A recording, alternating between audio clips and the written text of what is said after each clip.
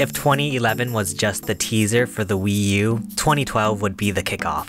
On June 5th, 2012, Nintendo held their E3 2012 press conference. With the Wii U coming out soon, there was still a lot of info that we didn't know about. While we didn't hear about info such as the price or release date just yet, we did learn some interesting little tidbits. The main thing that stuck out to me was this super duper cool looking black model. But we also saw a new finalized version of the Wii U controller, now officially known as the gamepad. We learned that the Wii U would support more than one gamepad which would be sold separately. 10 years later and I'm still waiting for that. And we saw a total of 23 games coming to the Wii U. Some of the main takeaways from the game selection was a new Pikmin game, a new Mario game, and a new minigame collection called Nintendo Land. This was also the beginning of Nintendo's silly phase where they actually started reacting to internet memes. Yes, my body was ready. Overall, I thought this was a nice presentation that showed us a lot of what would eventually be coming to the Wii U. Later on in the year, specifically September 13, 2012, Nintendo held a special Wii U preview presentation. I'll never forget this day because the event took place at 10 a.m. Eastern Time, which is 4 a.m. Hawaii time. And this was during my middle school procrastination phase, so I literally just stayed up all night doing my algebra homework when this started. Anyway, this was the big event we were all waiting for because we learned the substantial information about the Wii U. The Wii U would release on November 18, 2012 in North America and would come in two different bundles a basic set which comes with an 8GB white Wii U coming in at 300 US dollars, and a deluxe set costing 350 US dollars which comes with a 32GB black Wii U, Nintendo Land, and something called the Deluxe Digital Promotion, which would let you get points for every game you digitally downloaded. We also learned that all Wii accessories would be compatible with the Wii U, and that there wouldn't be any Wii remotes or nunchucks included because Nintendo expected you to just have some lying around. They weren't wrong. During the presentation, Nintendo also showed off some games including Nintendo Land, LEGO City Undercover, and even Call of Duty made an appearance.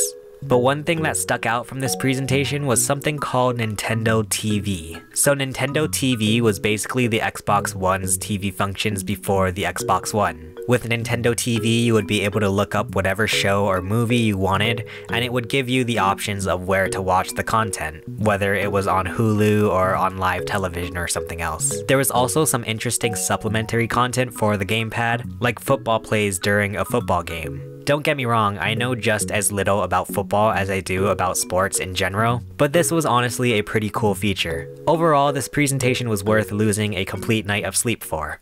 It was pretty soon after the preview presentation when the day had finally arrived. Wii U release day, baby. As a hopeless little 13 year old, my mom took me to GameStop where they only had the basic set available, and we ended up having to go to Best Buy to get a deluxe set. From what I remember, I don't think the demand for the Wii U came even close to the ridiculous times we're in now with the PS5 and Xbox Series X. In fact, I think all I had to do was put in an order for my Wii U on the Best Buy website before I left. Anyway, I got home with all my little Wii U pickups. I ended up getting the Wii U Deluxe set, a Wii U Pro controller, and new Super Mario Bros. U. I was so excited to see what the Wii U was all about, but here's what actually ended up happening.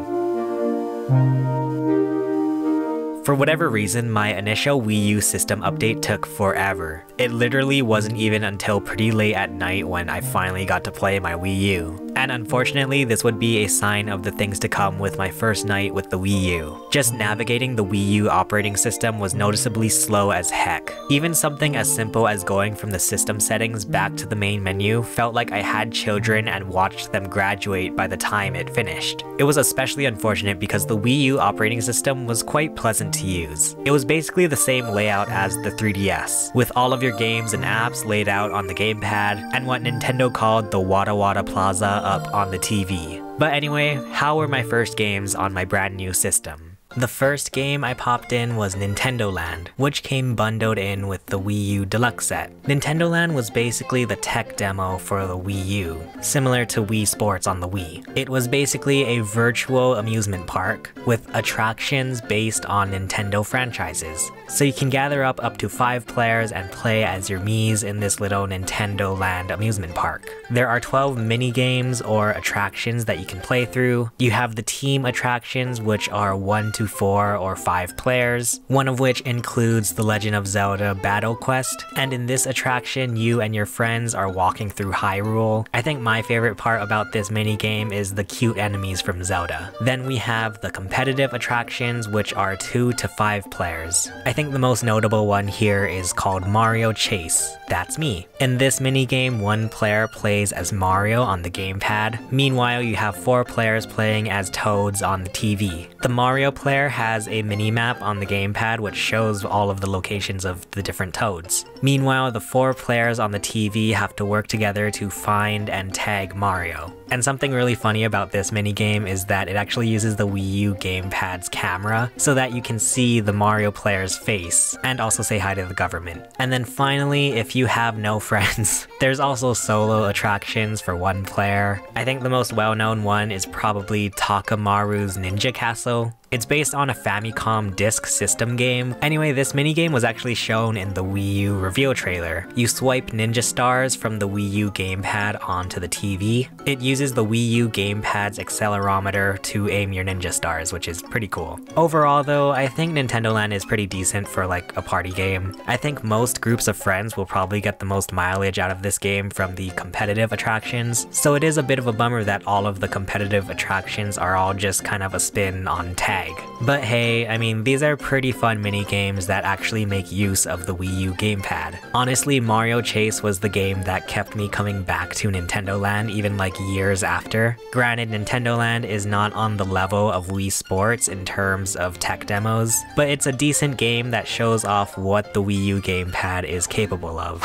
And if you weren't playing Nintendo Land, then you were probably playing New Super Mario Bros. U. This was exciting because it was the first time a Nintendo console console launched with a Mario game since the Nintendo 64 with Super Mario 64. And considering how beloved Super Mario 64 is, this would have to be a success, right? Well, New Super Mario Bros. U was a follow-up to New Super Mario Bros. 2, which launched on the 3DS in July 2012, just five months earlier. It was based on this demo called Super Mario Bros. Mii, which was shown off at E3 2011 when the Wii U was first revealed. But where the heck are the Miis? Anyway, this was the first HD Mario game, and while the game does look pretty good, especially considering this was Nintendo's first HD console, it was definitely harder to appreciate the full HD resolution considering that this is a 2D Mario game. In terms of how this game used the gamepad, basically when you play the game in multiplayer mode, one player can take over the gamepad and place blocks to help or hurt players going through the level.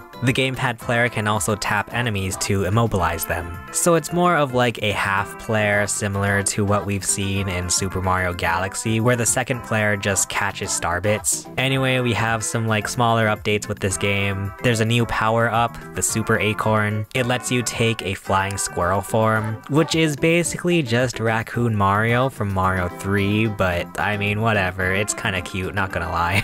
And then they also introduced this interconnected map where all of the worlds are actually connected to each other. There's basically no loading going on between the worlds, which is like pretty cool. But in the end, New Super Mario Bros. U is a very safe Mario game. I know this game gets a lot of flack for being just another 2D Mario game. It doesn't really reinvent anything or, you know, introduce anything drastic. But as your local 2D Mario fanboy, I can pretty confidently say that I actually enjoy this game game. I'm the type of guy that will play any 2D Mario game that Nintendo gives us. But I mean, I can understand where people are coming from. It is a very just same old, same old new Super Mario Bros. game.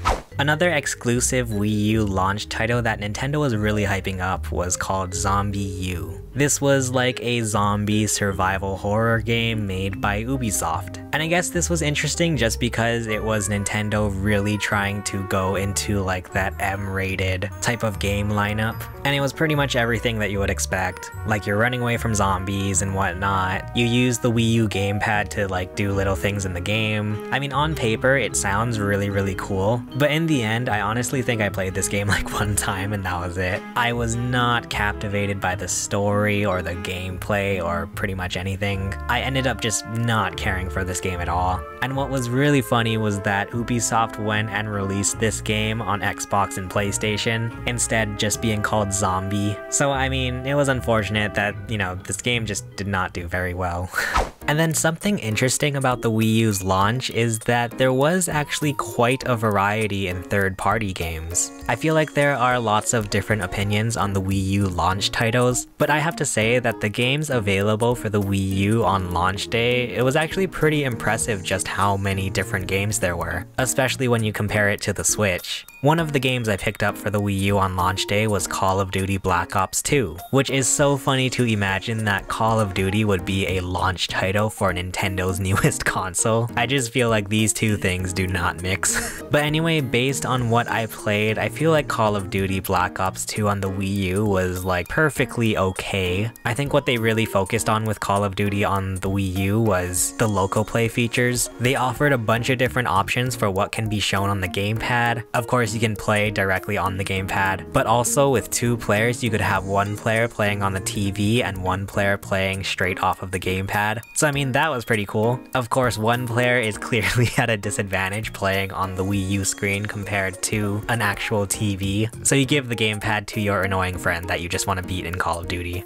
Anyway, another third-party game that I picked up for the Wii U on launch day was Scribblenauts Unlimited. I honestly wasn't expecting much from this game, it just seemed like a kind of like silly kids game that I could try out. But I was pleasantly surprised with how much fun this game was. It was my first time playing a Scribblenauts game, and it felt like it fit on the Wii U really well. I look at the Scribblenauts games that are released on the Switch, and I just can't imagine playing this game without a touchscreen. So typing out the words on the gamepad and then watching it come to life on the TV, it was pretty cool. And playing through that game was just so much fun, and I was actually very surprised how much I enjoyed Scribblenauts Unlimited. And the last third-party game I got at launch was Little Inferno. This is another game that really really surprised me just how much fun it is. And basically you're sat in front of a fireplace and you just burn a bunch of stuff. And the fact that this game came out later in the year, it felt like the perfect winter game. You get all cozy sitting in front of the virtual fireplace. It's just a fun game and I'm glad that I actually picked it up on the Wii U.